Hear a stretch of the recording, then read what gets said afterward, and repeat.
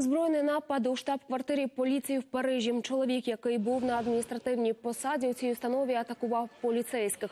Від ножових поранень загинули четверо правоохоронців. Самого нападника застрелили. Його мотиви залишаються невідомими. Чоловік довгий час працював у штаб-квартирі поліції, мав гарні стосунки зі своїми колегами. Він убив чотирьох чоловіків. Наразі точно назвати їхні посади ми не можемо. Мотив на даний момент невідомий. Може він з'їхав з глузду, чи в нього були на це інші причини. Ми не знаємо. Ще зарано говорити про це. Нападник працював у цій будівлі 20 років. За цей час з ним не виникало жодної проблеми.